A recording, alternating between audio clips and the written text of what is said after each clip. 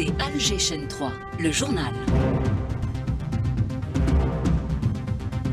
Bonjour Nabila.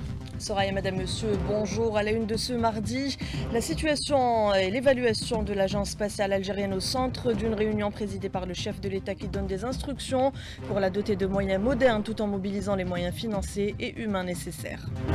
Entretien téléphonique entre le président et son homologue mauritanien, lors duquel ils ont abordé des questions d'intérêt commun et la prochaine visite en Algérie du président de la République islamique de Mauritanie. 64e anniversaire des explosions nucléaires dans le sud Arguen, des crimes contre l'humanité qui continuent de nuire à la santé et à l'environnement. En Palestine, l'entreprise génocidaire se poursuit. Des dizaines de martyrs hier soir à Rafah, où la perspective d'une véritable offensive de l'armée sioniste, où sont réfugiés des milliers de Palestiniens, est terrifiante, affirment les instances onusiennes. Et à Al-Quds Est, l'armée sioniste n'épargne rien ni personne. Des cortèges funèbres sont attaqués. Deux jeunes Palestiniens ont été blessés. À quelques jours du 7e sommet international du gaz à Alger, la souveraineté sur les ressources gazières et la concrétisation de la sécurité énergétique au cœur des débats, abordés par des experts internationaux lors d'une conférence organisée par la radio nationale.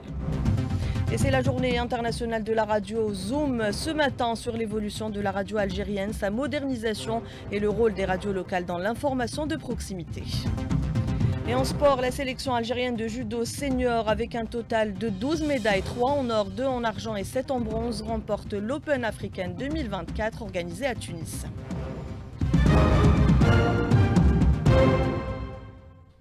Bonjour à toutes et à tous. Le président de la République a présidé hier une réunion d'évaluation de l'agence spatiale algérienne pour examiner sa situation et les modalités de développement de ses activités. Le président a donné une série d'instructions dans ce sens, Walid Selman. Il a été euh, décidé notamment de doter l'agence d'outils techniques spatiaux les plus modernes et de mobiliser les moyens financiers et les ressources humaines formées dans des spécialités de haut niveau et de pointe parmi les diplômés des instituts d'enseignement supérieur de mathématiques, de l'École nationale supérieure de l'intelligence artificielle, suivant une vision proactive à l'horizon 2040 et ce en collaboration avec les partenaires stratégiques de l'Algérie. La réunion s'est déroulée en présence, entre autres, du Premier ministre, de plusieurs ministres, de chefs d'état-major de l'ANP et du directeur de l'Agence spatiale Et le chef de l'État a eu un entretien téléphonique avec son homologue mauritanien Mohamed Ould Sheikh Al-Ghazouani, lors duquel ils ont abordé des questions d'intérêt pour les deux pays et la visite prévue en Algérie du président mauritanien.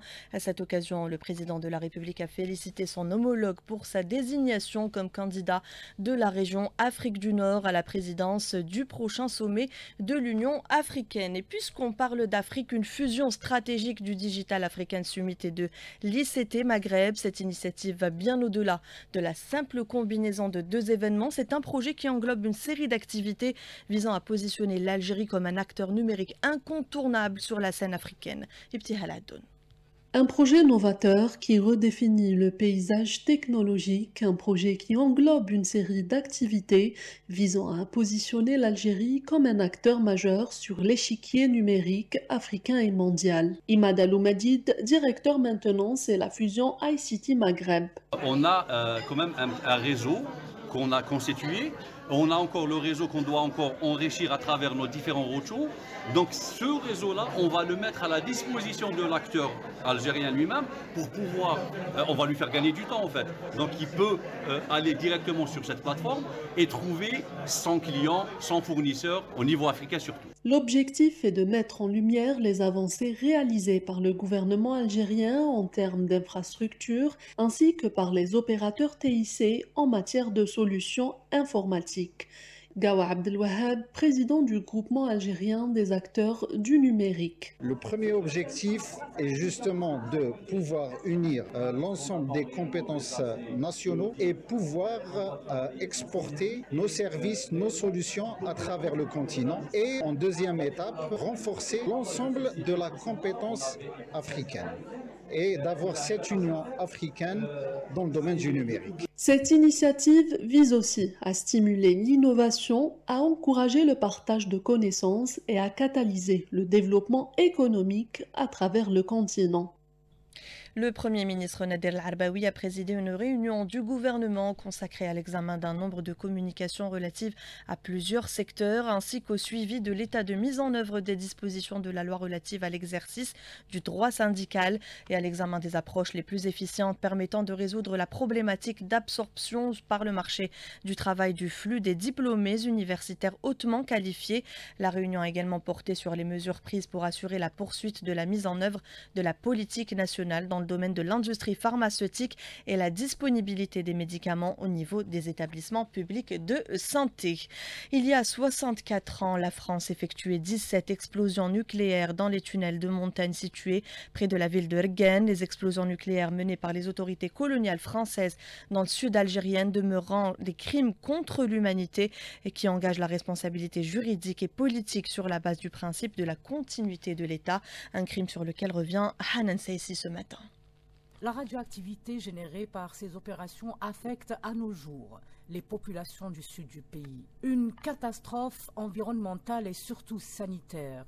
Malgré l'ampleur des dégâts, le dossier des indemnisations demeure au poids mort. Ammar Mansouri, docteur en génie nucléaire. Quand on voit les malformations, il faut voir les les problèmes cardiovasculaires, les cancers, ça, ça demande beaucoup d'argent, ça demande des hôpitaux spécialisés, des diagnostics, et rien n'a été fait pour les Algériens. L'opération Gerboise Bleue, à elle seule, a touché au moins 26 pays d'Afrique. Un problème de dimension internationale, alerte Dr Ammar Mansouri. Il faut alerter l'ONU pour qu'il y ait des dispositions pour que aussi toute la communauté internationale conjugue leurs efforts pour trouver des solutions à ces problèmes humanitaires. Sur le plan international, l'Algérie, victime de ce crime contre l'humanité, dispose des leviers juridiques pour plaider la cause.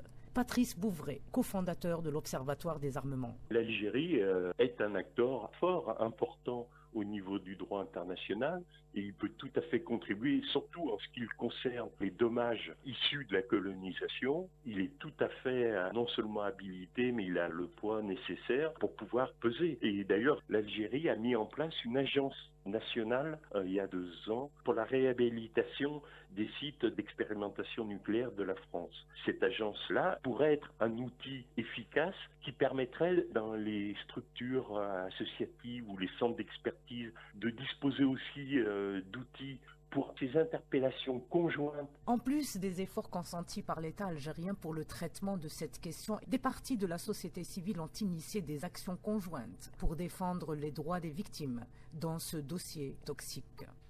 Et les explosions nucléaires françaises effectuées en Algérie continuent de nuire à la santé et à l'environnement. Des années plus tard, les séquelles sont là. Le nombre de cas de cancer est très élevé au niveau de cette région. Les associations d'aide aux malades revendiquent la désinfection des espaces et des lieux où se sont déroulés ces essais. Hassan. Le 13 février 1960, à Regan, l'armée française effectue son premier essai nucléaire.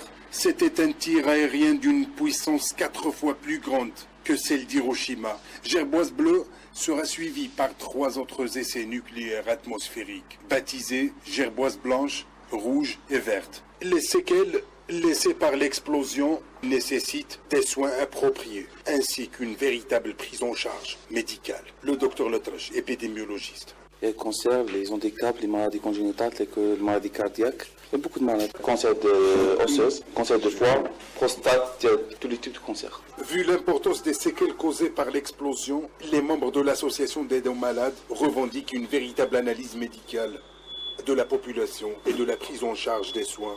Ils insistent également sur la désinfection des lieux et des espaces où se sont déroulés les essais. Les avortements, les menaces d'avortement, les handicapés, les malformations et toutes les sortes de cancers. À un des deux malades qui mort cancer cancer de larynx de euh, pancréas donc la souffrance les essais nucléaires effectués au Sahara ont produit de grandes quantités de déchets enfouis seulement à quelques centimètres de profondeur et fait beaucoup de victimes. Leur nombre augmente souvent dans l'anonymat. À ce jour, aucune liste n'est établie. L'absence de dépistage et d'archives sanitaires occulte les innombrables maladies comme le cancer et les décès entraînés par les radiations. Les victimes ne sont pas seulement les habitants des zones où les expériences ont eu lieu, mais même ceux se trouvant loin de cette zone. Au chapitre économie, la Radio nationale, en coordination avec l'École supérieure du journalisme et des sciences de l'information, ont organisé hier une conférence sous le slogan La souveraineté sur les ressources gazières, la concrétisation de la sécurité énergétique. Une conférence animée par des experts internationaux dans le domaine énergétique qui ont mis l'accent sur les enjeux autour du marché gazier à l'international, notamment sur l'importance de la décision souveraine. Et puis l'Algérie, leader mondial en GNL dans les années 60 avant l'apparition d'autres producteurs comme le Qatar, la Russie, encore les États-Unis. Aujourd'hui, le pays dispose d'unités de liquéfaction avec une capacité d'exportation estimée en 2023 à un total de 13 millions de tonnes, soit à un taux de croissance annuel de 26%. L'Algérie est désormais le premier exportateur de GNL en Afrique, nous dit Mayelkens dans ce sujet. Même si aujourd'hui d'autres acteurs ont émergé, le pays dispose de nombreux atouts pour accroître sa production. Explication avec Mohamed Saïd Broul, expert en énergie. L'Algérie a toutes les infrastructures de production, de traitement, d'équifaction, de transport et d'exportation, avec 8 méthaniers totalisant 1 million de mètres cubes de gaz liquide. Augmenter les parts de marché, la concurrence est rude. Le gel des unités GNL annoncé aux États-Unis va-t-il profiter à d'autres producteurs? Jamel Belahrash, président de la commission commercialisation de l'Association des ingénieurs de gaz. Le président des États-Unis a fait un décret de telle manière qu'on arrête toutes les nouvelles projections et constructions d'unités de liquéfaction ou de regasification aux États-Unis. C'est un processus qui est tout à fait normal. Et maintenant, on est obligé d'attendre jusqu'au 24 novembre. Il y a une probabilité que Trump revienne et il va réautoriser la construction de nouvelles unités de liquéfaction et de regasification de gaz. Forte de son expérience dans le domaine gazier, l'Algérie pourra tirer profit de l'augmentation de la demande mondiale sur le GNL qui constituera près de la moitié du gaz échangé à l'horizon 2030. Hamada Boujma'a, doyen de la faculté des hydrocarbures et de la chimie de Boumerdes. Entre 2020 et 2050, les investissements vont aller sur le plan international jusqu'à 10 000 milliards de dollars parce que la demande en GNL ou en gaz va augmenter jusqu'à 2050. C'est pour cela que tous les pays essaient de mettre au point des améliorations dans les technologies pour réduire le coût des investissements à la recherche de nouveaux gisements, mettre en valeur les gisements existants. Tout ceci se passe avec une vitesse assez L'Algérie, fournisseur fiable et sûr, sa proximité avec le marché européen est un avantage. Les investissements projetés pour développer encore davantage le secteur consolident sa position en tant qu'acteur majeur sur la scène énergétique. Et direction la Palestine avec la situation à Raza qui s'empire de jour en jour. Le génocide sioniste contre les Palestiniens se poursuit, accentué cette fois-ci par cette offensive meurtrière imminente sur Rafah. Des dizaines de martyrs euh, hier soir lors de tirs de sniper et des raids. Les secouristes palestiniens montent au créneau. Leurs ambulances sont dans l'incapacité de transporter un grand nombre de blessés à la suite de ces bombardements. La communauté internationale met en garde, à commencer par le secrétaire général de l'ONU, mais aussi Médecins sans l'OMS pour le mouvement Hamas. Euh, on le qualifie de manœuvre sioniste pour faire capoter l'accord d'échange de prisonniers. La diplomatie palestinienne estime qu'il s'agit de pousser la population à immigrer sous les bombardements. En clair, un déplacement forcé d'armes. Et à El-Quds Est, l'armée sioniste n'épargne rien ni personne. Des cortèges funèbres sont attaqués. Deux jeunes Palestiniens ont été, euh, ont été blessés hier soir. Et euh, c'est la journée internationale international de la radio. Zoom ce matin sur l'évolution de la radio algérienne, sa modernisation, mais surtout le rôle des radios locales dans l'information de proximité. On écoute à ce propos Mohamed Barali, directeur général de la radio nationale. Il est au micro de Hanan Saïsi l'État donne une importance particulière à la radio nationale comme le média le plus impactant en Algérie, puis aux radios locales euh, qui sont le cœur aussi de ce projet médiatique qui est la radio nationale. Par exemple, la radio nationale diffuse pas moins de 1017 heures de programme par jour. C'est un chiffre énorme, record. Et dans cette plage de diffusion, les radios locales occupent pas moins de 751 heures de programme. Donc ces chiffres prouvent l'importance de la radio nationale et surtout l'importance des radios locales. 751 heures destinées aux citoyens dans ce qu'on appelle l'Algérie profonde. Donc les radios locales sont devenues euh, un modèle de ce que devrait être l'information de proximité. On est conscient de cette responsabilité qui est très lourde. Et en sport, euh, la sélection algérienne de judo senior messieurs et dames, avec un total de 12 médailles, 3 en or, 2 en argent et 7 en bronze, a remporté l'Open africaine 2024 organisé dans la capitale tunisienne. Voilà, c'était la dernière information de cette édition réalisée par Aïssa Abdelrahman. Merci à tous de l'avoir suivi. Tout de suite, le point météo avec Soraya Zentar. Prochain point complet, 8h avec Walid Selman. Très belle suite des programmes sur Alger 3.